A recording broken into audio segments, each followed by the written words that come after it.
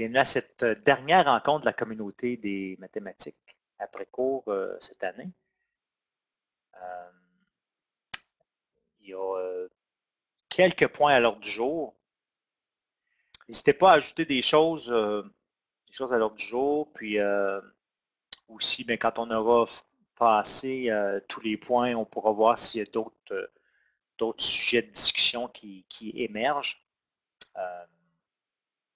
Alors voilà, a peut-être d'autres personnes qui vont se joindre à nous aussi. Euh, le deuxième point, relève pour l'an prochain, ben c'est ça, je ne serai pas à l'animation l'an prochain. Euh, je vais quitter, euh, je prends ma retraite, j'avais mentionné à, la dernière rencontre. Et puis, donc c'est ça, on est à la recherche de quelqu'un qui va prendre la relève pour, pour animer la communauté l'an prochain. Donc, si ça vous intéresse ou si vous connaissez quelqu'un qui le ferait, euh, vous pouvez nous le proposer à moi ou à, Richard Pinchot, M. Atrécourt. Et puis, euh, c'est ça. Donc, en espérant qu'il va y avoir quelqu'un qui va, qui va se porter volontaire. Voilà.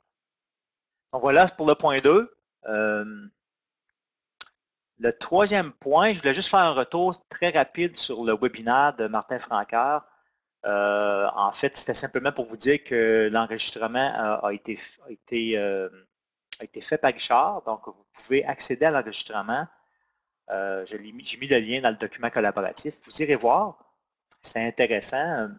Si vous n'avez pas participé aux rencontres que, Martin euh, a, fait dans son, son accompagnement national cette année, euh, il a parlé de deux activités qu'il fait avec les gens, qu'il a fait avec les gens. Puis c'était très intéressant. C'est des, des, trucs qui peuvent être faits avec vos, vos groupes d'enseignants ou avec vos, collègues si, un enseignant prend ça. Il y a vraiment des choses intéressantes sur les stratégies et sur la représentation des problèmes. Vous irez voir ça. Tous les documents sont accessibles. Euh, donc, euh, allez voir ça. C'est vraiment intéressant. Je ne sais pas s'il y a des gens qui ont des commentaires euh, par rapport à ça. vous pouvez prendre la parole. Là. Ne vous gênez pas. Oui, c'est juste curieux. Malheureusement, j'ai pas eu le temps. Oui, j'ai pas eu le temps d'aller voir le, webinaire, mais je sais que je suis allé à l'atelier de Martin euh, au début de l'année sur deux jours, puis il est venu ici à notre centre. Donc, essentiellement, j'imagine qu'il devait, il devait faire sensiblement la même chose qu'on a fait en, atelier. Je crois, oui. C'est ce qu'il nous a dit qu'il avait fait ce genre d'activité avec, avec les, euh, avec différentes équipes. ce ne sera, pas du nouveau pour toi si tu vas voir ça. OK. Non, mais c'était intéressant, par exemple. je sais ici, même qu'on était 3-4, puis on l'a fait venir à notre centre euh, plus tard dans l'année pour qu'il euh, le fasse avec pas mal tout le monde. s'il y en a qui ne l'ont pas vu, c'est probablement pas mal intéressant. Oui, oui. Merci. Le quatrième point, euh, on a eu la nouvelle, vous l'avez eu sûrement, on a eu une info-sanction qui disait que la fermeture des cours de, mathématiques de la cinquième secondaire sont reportés d'une année. Euh, c'est sûr qu'on aurait aimé le savoir euh, plus tôt, mais bon, euh, on l'a su à ce moment-là. dans les centres, je pense qu'il y a plusieurs régions, on en a parlé souvent dans les communautés. on se préparait pour les données, le, matériel n'était pas toujours prêt. Se sentait pressé comme un citron, mais bon, on, a fait ce qu'on a pu. Puis, euh, donc, les cours sont reportés et j'ai euh, une question pour vous. Euh, en fait, j'ai rajouté une question de. Il y a trois sondages. Je vais vous demander d'y répondre, même si on n'est pas nombreux, on, peut quand même, on peut quand même répondre aux sondages. Bonjour Julie. On t'entend pas, Julie, ton micro.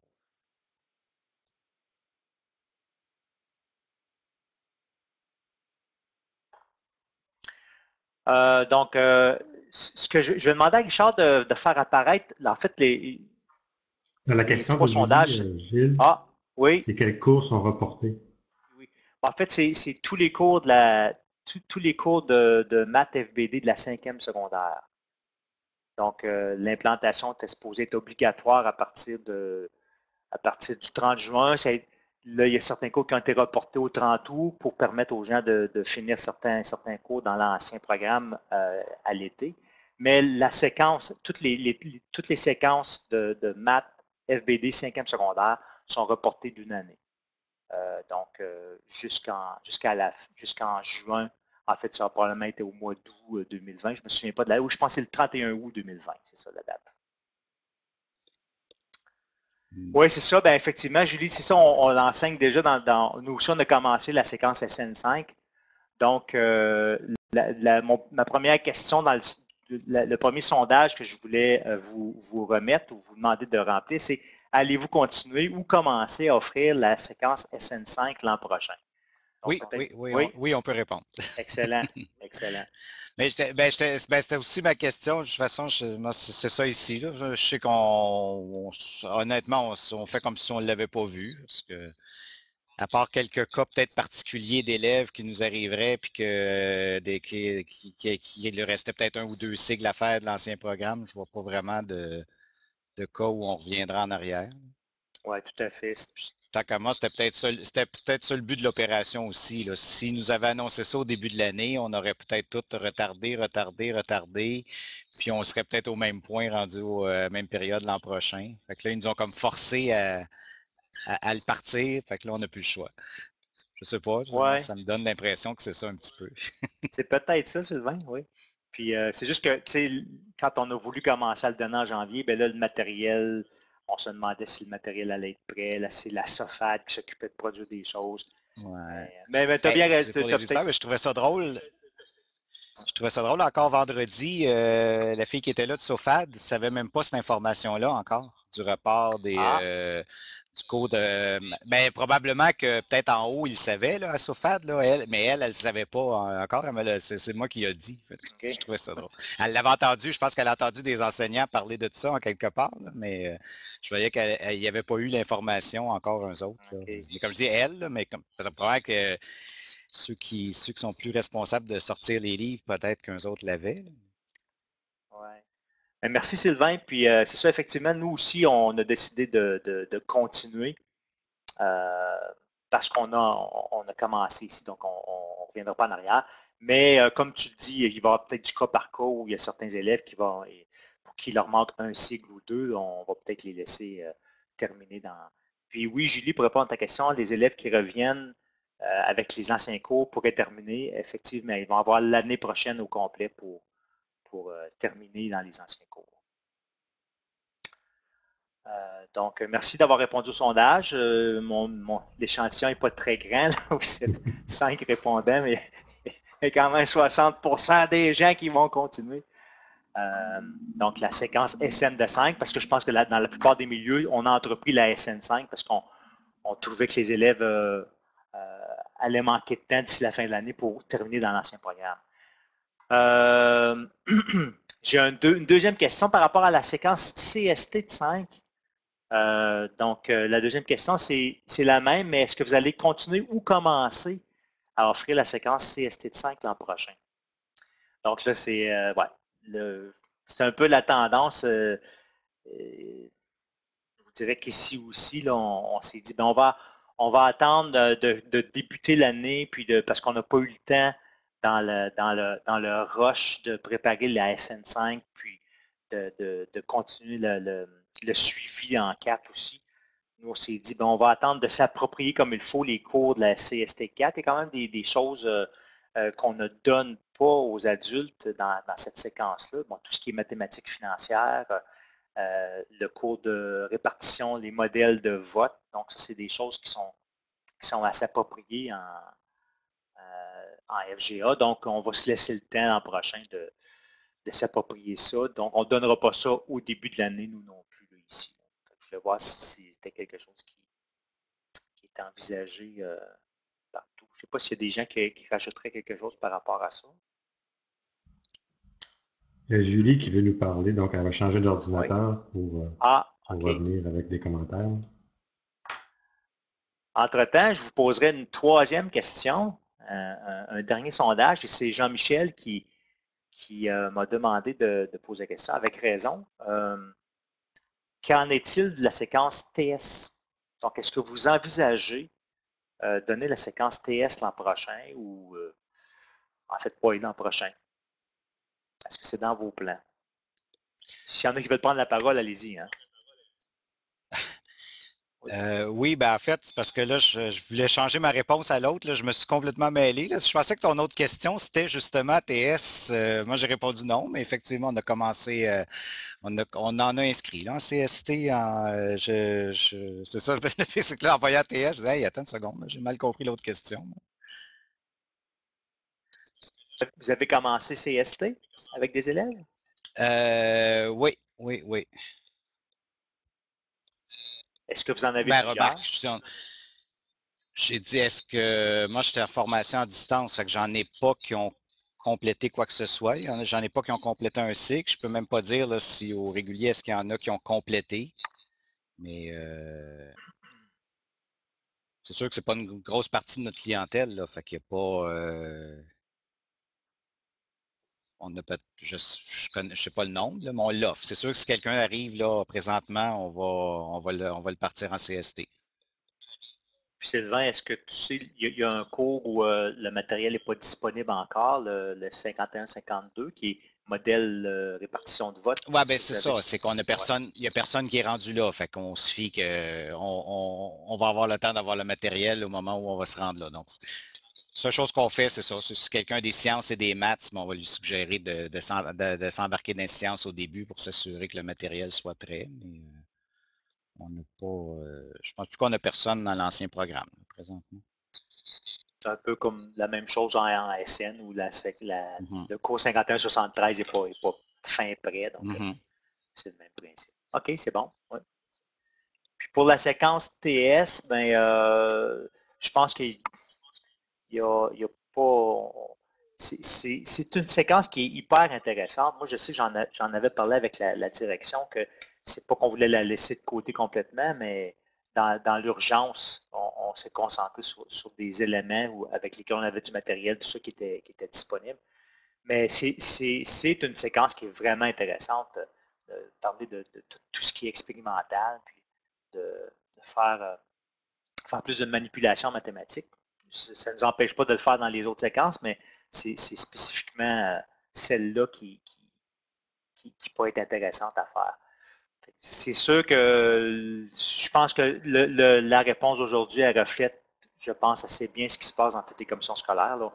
On est à, on est à organiser les, séquences CST et, TS, euh, et SN, pardon. Puis peut-être que la TS viendra éventuellement. Julie, est-ce que tu peux nous parler? Donc, merci pour avoir répondu au, sondage. Est-ce qu'il y a d'autres euh, commentaires ou trucs par rapport à, la, aux mathématiques de la cinquième secondaire?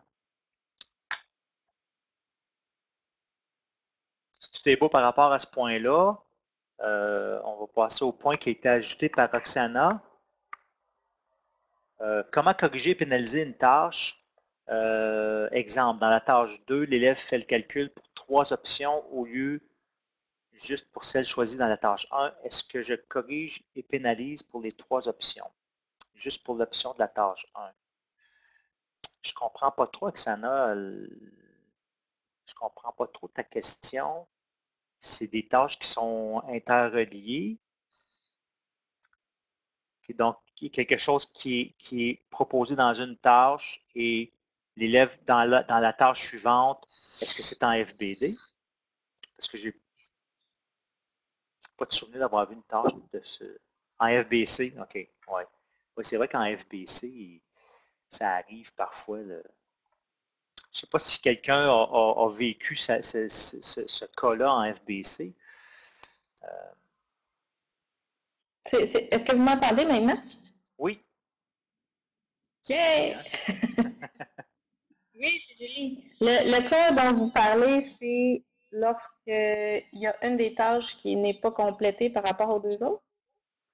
Non, je pense. Non, c'est plus, plus précis. Là, si vous allez, si tu vas voir dans le document collaboratif, euh, Oxana dit ben, euh, dans une tâche, euh, l'élève fait le calcul pour trois options au lieu de celle qui est choisie dans la tâche Moi, j'aurais tendance à ne pas pénaliser l'élève s'il en a fait plus. Là. Oui, Stéphane. Euh, ça se pourrait, ça se pourrait-tu que ce soit, euh, exemple, dans la première, première tâche, ils ont à choisir, exemple, euh, je fais un exemple quelconque, il y aurait trois voitures, choisissent une voiture. dans la tâche 1 qui convient. Dans la tâche 2, il ben, faut qu'il refasse quelque chose avec ce calcul-là, mais que la personne refait le calcul, mais euh, pour les trois voitures. Je fais un exemple euh, quelconque. Je me doute de quel examen peut-être qu'elle parle. Mais c'est pas des voitures, c'est autre chose. Je dirais que si l'élève a démontré un bon raisonnement mathématique pour l'option que l'élève a choisie, c'est pas nécessairement pas nécessaire de faire les trois options, à moins qu'ils disent de choisir la moins chère. Là, c'est important de faire les calculs pour les trois.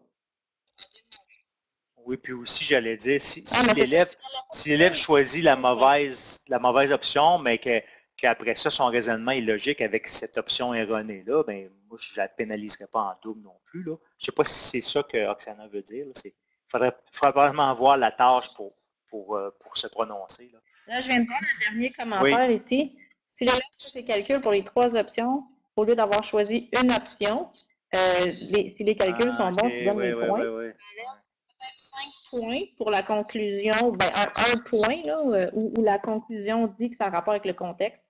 Donc, tu n'as peut-être pas conclu que tu en as choisi un des trois. Mais si le raisonnement mathématique est là, on donne les points.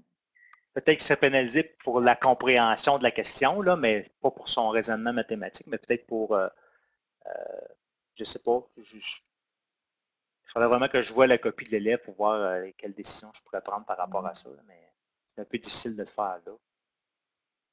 Julie, euh, tu, voulais parler de, de une partie, faire partie d'une équipe euh, dans des CS anglophones pour créer des prétests pour les maths 5 CST.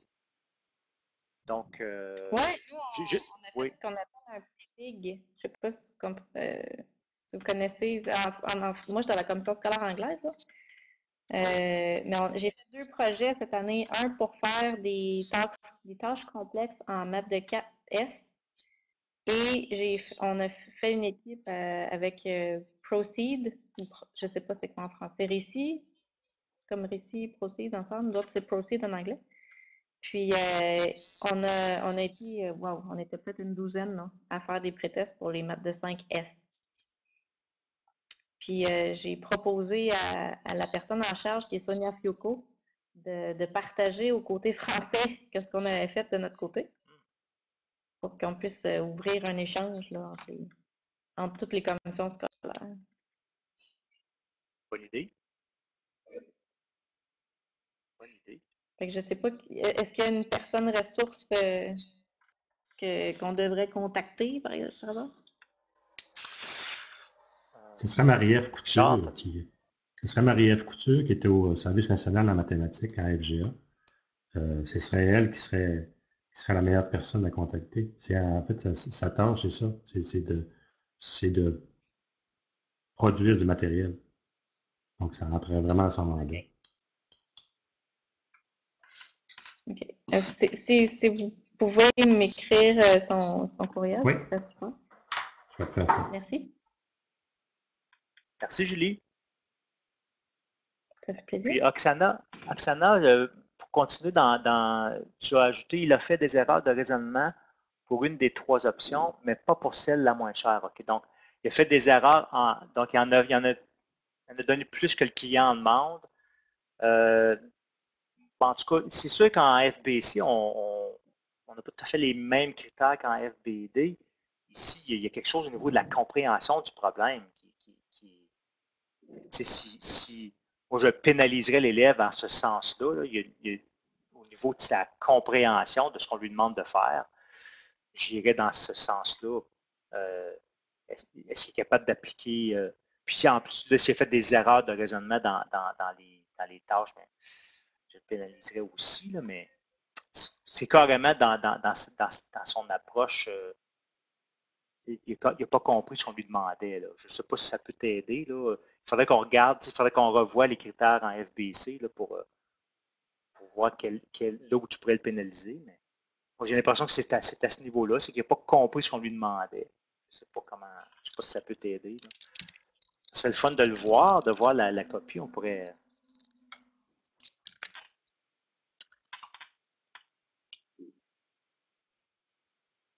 Est-ce qu'il y a quelqu'un qui aurait quelque chose à ajouter par rapport à la question d'Oxana?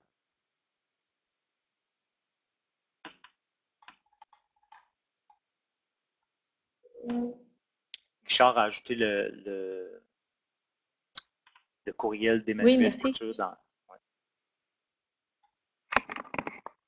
Donc, s'il n'y a pas d'autres commentaires par rapport à ce que Oksana nous demandait, euh, Julie, tu voulais ajouter quelque chose?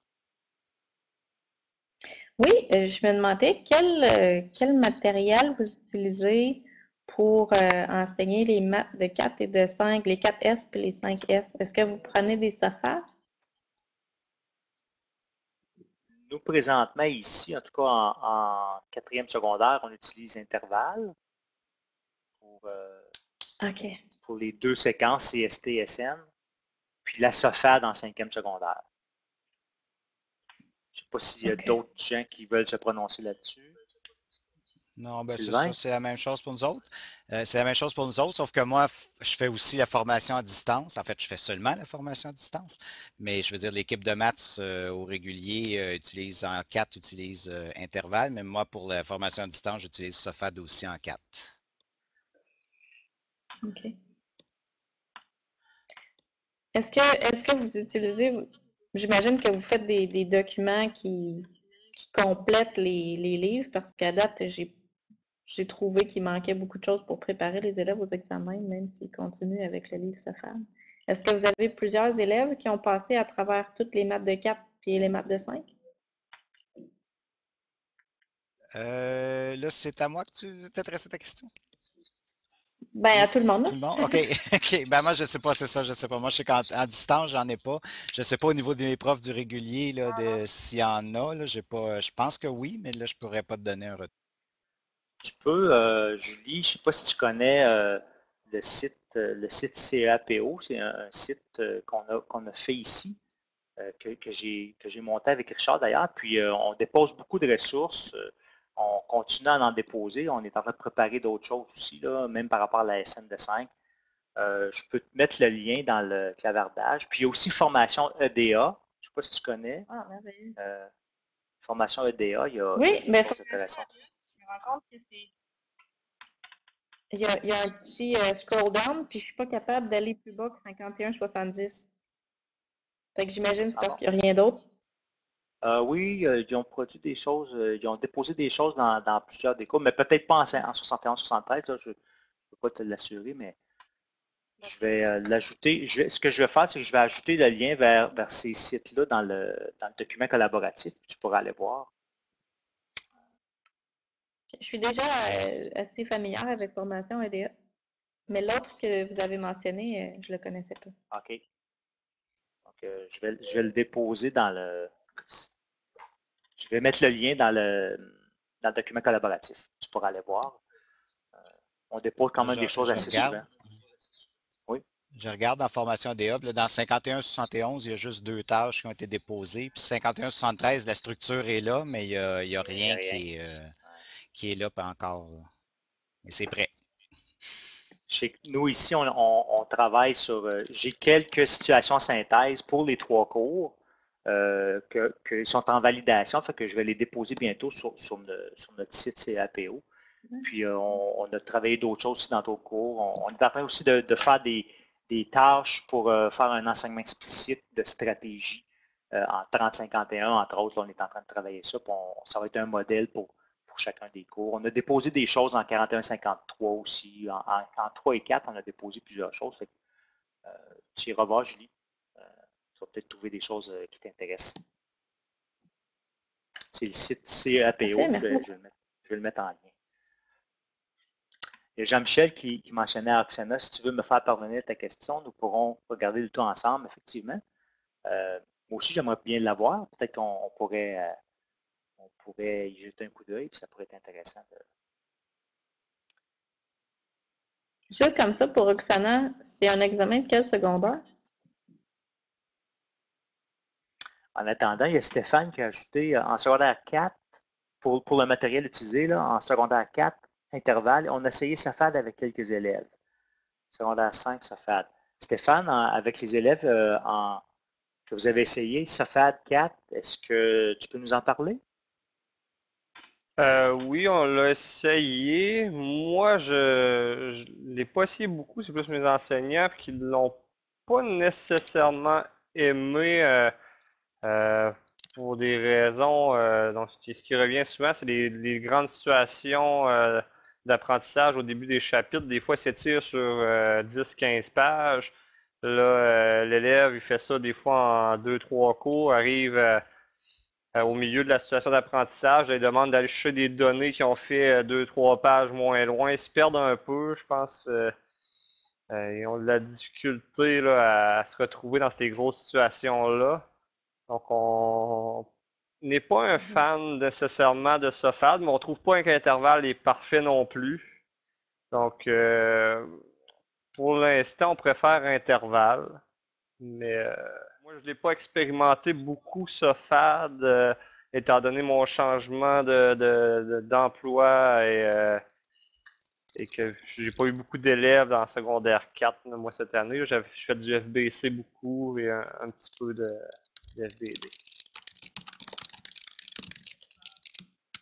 Merci. C'est ça, comme, comme je voulais ajouter, c'est vrai qu'avec la SOFAD, euh, parfois les, élèves s'y perdent un peu. Je ne sais pas, c'est peut-être pour ça que c'est moins utilisé, mais CEC, c'est assez de défauts aussi. je pense qu'il n'y a pas assez de situations problèmes dans CEC. Sylvain? Oui, ben, ben c'est justement, moi, comme je disais, j'étais en formation à distance, donc CEC, euh, je trouve ça problématique parce qu'il il, manque, en partant, il n'y a pas grand-chose pour les supporter. Là. Ils leur lancent des choses, puis souvent, ça, demande presque un prof à côté. Là, Mais, en général, moi, j'aurais tendance à penser que peu importe l'éditeur présentement, les, exigences sont tellement, euh, sont tellement rehaussées par rapport à ce qu'on avait avant que peu importe l'éditeur, ça va être plus difficile. C'est sûr qu'il y, a des ajustements qu'il va falloir faire, du matériel d'appoint, en fait, qu'il va falloir faire. Je ne suis pas sûr si c'est nécessairement une question d'un éditeur versus un autre, là, présentement. Je pense que c'est plus comme c'était avant, du petit, des, petites notions point, euh, des petites notions point par point, puis qui faisaient juste répéter. Qui sont difficiles, les, situations d'apprentissage, mais en bout de ligne, c'est quand même ça qu'il va falloir qu'ils soient capables de faire. Donc, on ne peut pas non plus passer à côté. Merci Sylvain. Il y a Julie et Stéphane qui veulent prendre la parole. Donc, voici Julie. au fait, j'ai posé la question parce que euh, quand j'ai commencé à enseigner, nous autres, les maths de 4, il n'y avait pas de livre de SOFAD qui était sorti.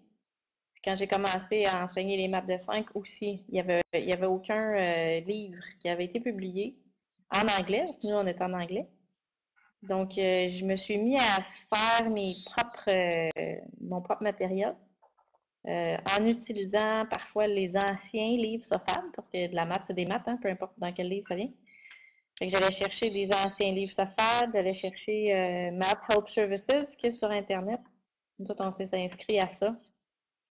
Ça, ça a du bon pas bon. Il n'y a rien, selon moi, il n'y a rien, il n'y a ni une édition, ni une formule Internet qui est complète pour faire un programme avec la complexité qu'ils doivent avoir à l'examen. Euh, je me demandais s'il y avait aussi d'autres enseignants qui avaient commencé à produire leur propre matériel pour être capable d'arriver à couvrir vraiment euh, ces situations-là complexes euh, que les élèves doivent avoir en fin d'année. Euh, mais oui, moi, je l'ai enseigné sans livre euh, du début. Euh, maintenant, les, les SOFAD sont arrivés, puis il y a quelques élèves que je leur ai proposé de le faire avec le livre. Puis ils finissent tous par venir me voir et me dire on peut skipper le trois quarts du livre? Ils trouvent ça trop long. C'est pour savoir s'il y avait d'autres personnes qui, avaient, qui avaient été dans ce sens-là. Merci, Julie. Euh, Stéphane, je te cède la parole.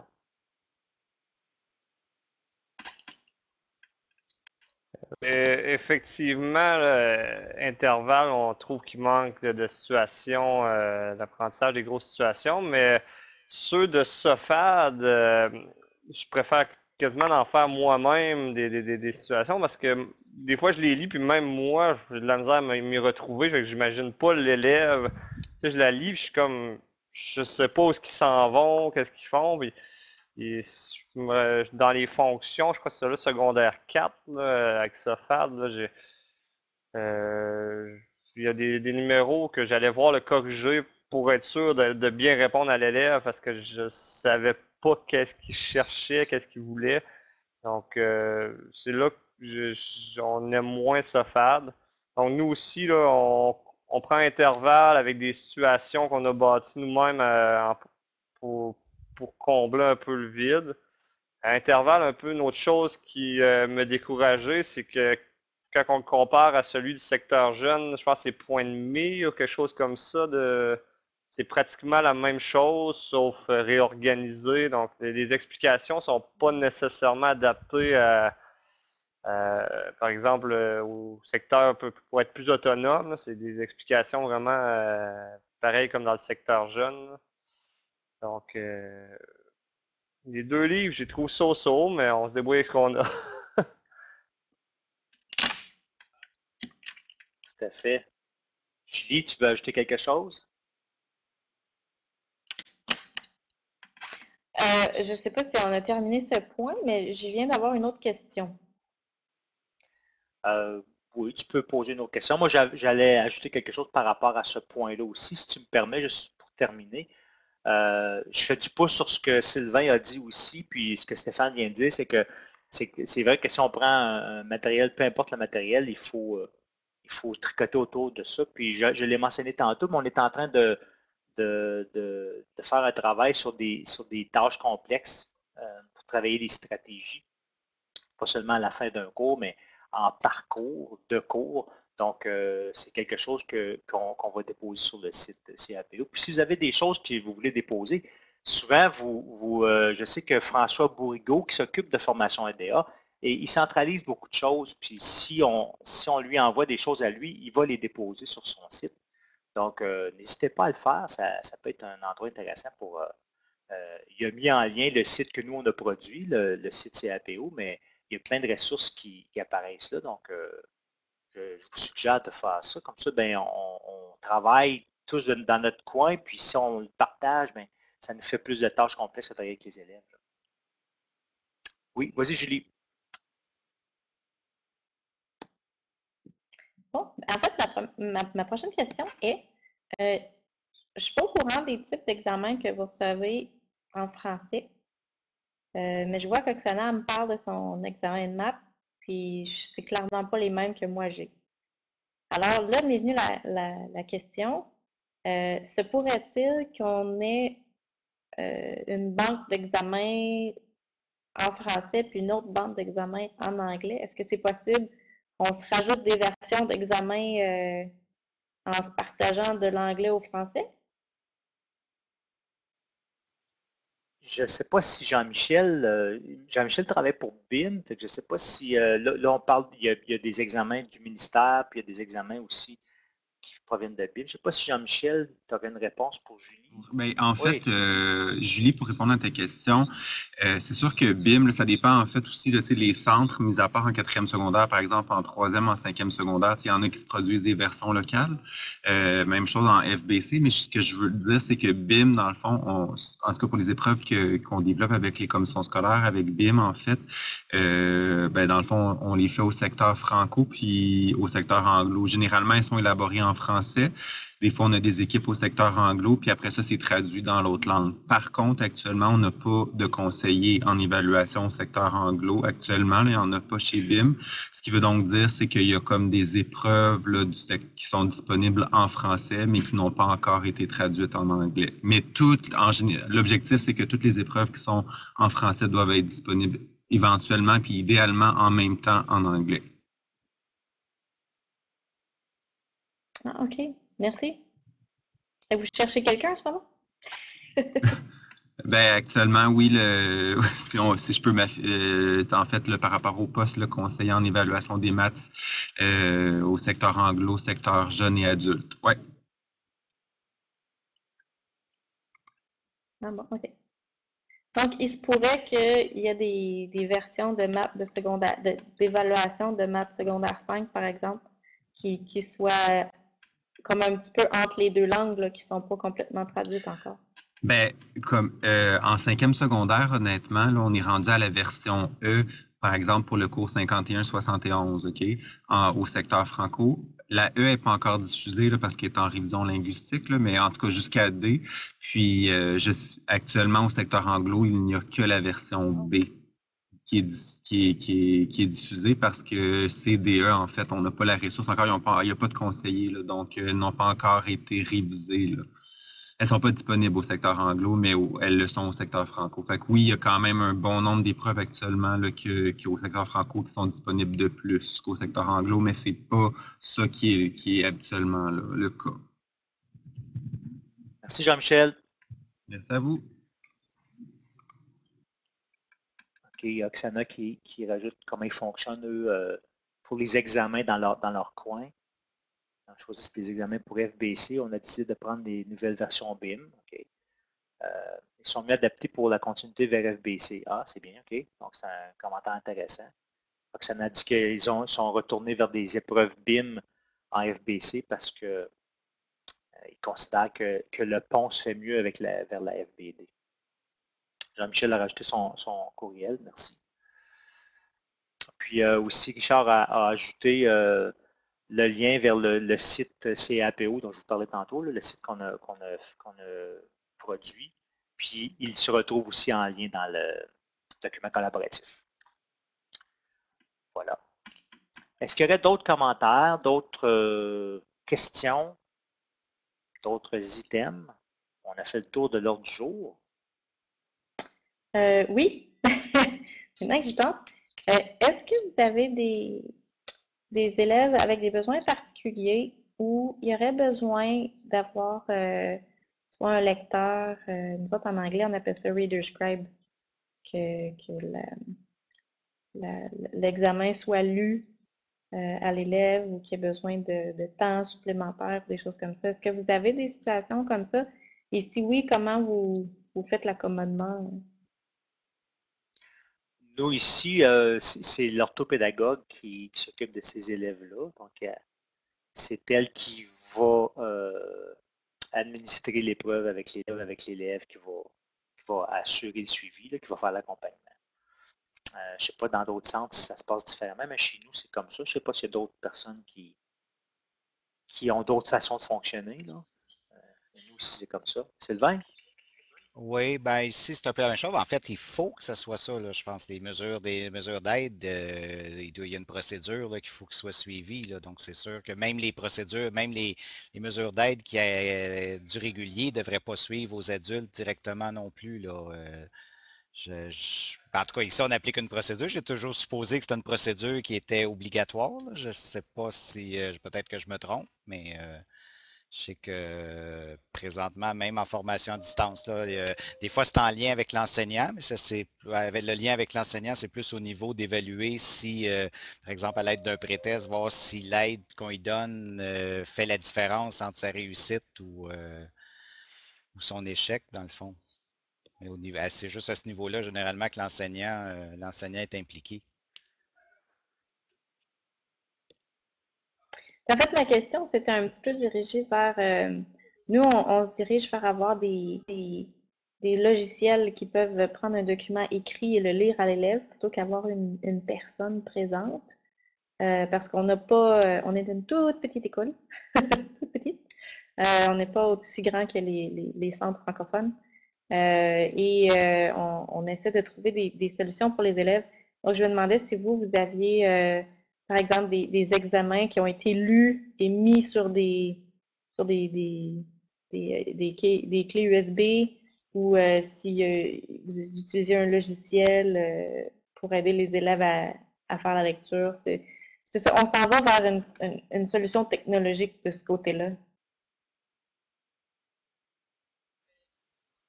Ben, moi, en tout cas, ici, je ne sais pas exactement comment ça se passe au niveau de l'évaluation. Comme je disais tantôt, c'est l'orthopédagogue en classe, ça peut être WorkQ ou euh, des, outils comme celui-là. Mais à ma connaissance, là, euh, pour l'évaluation, c'est une personne, donc c'est l'orthopédagogue qui accompagne l'élève. Euh, je ne sais pas si, c'est quelque chose qui peut être fait en évaluation d'utiliser. De, oui, Richard, tu dire oui. Je n'ai pas, pas cette expertise-là, mais il y a peut-être des, façons de faire qui sont, qui sont, qui sont à explorer, mais je ne connais pas. En fait, on a l'obligation de fournir les mêmes outils. Excuse-moi. Euh, on a l'obligation de fournir les mêmes outils qui sont utilisés en classe. Donc, si l'élève euh, a appris avec WorldQ ou Lexibar, c'est les deux outils qu'on utilise le plus. ils sont offerts aussi en salle d'examen si l'élève le demande. Donc, lorsque la réservation de salle se fait, on, stipule que l'élève a droit, par exemple, au tiers de temps de plus ou à Lexibar ou à WorldQ, et ce qui est offert dans la majorité des centres au Québec. OK, vous avez utilisé WorldQ.